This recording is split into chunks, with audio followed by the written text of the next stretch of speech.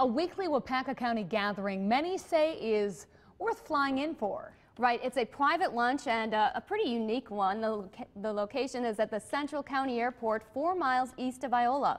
Fox 11's Ben Krumholtz takes us there. And it's every Friday all year round. You might call it a flying lover's feast. We all speak the same language. For the past 11 years, aviation enthusiasts have been traveling to the Central County Airport just outside Iola. Eight years before we began here, we used to meet on Friday in one of the hangars. We had a beat up old Weber grill. It's kind of an institution now. It started out as just a rotten burger thing. Though. I don't delude myself into thinking it's my cooking, it's the camaraderie. Today it's scalloped potatoes and ham. I think I could get away with serving cardboard for a couple of weeks and they'd still come. Yes, sir. Food isn't why I come. I'm not all that interested in food, but I got to eat anyway. For this Friday's meal, it's a light crowd. It's not unusual to have a couple hundred people milling around in here. It's, a, it's one of the excuses to fly.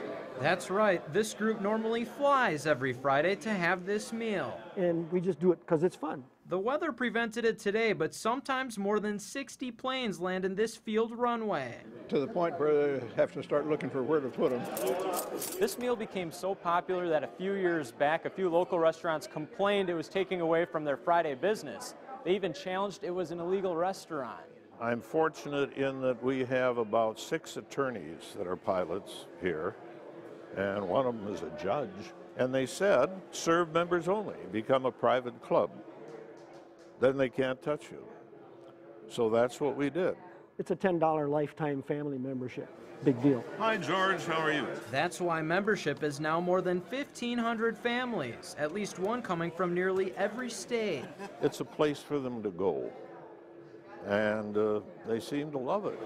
In Waupaca County, Ben Krumholtz, Fox 11 News. The regulars who fly to the meal are from the northeast Wisconsin area. On top of the $10 membership fee, the Friday lunch is $8. Proceeds benefit the airport, which is owned by a private corporation of pilots.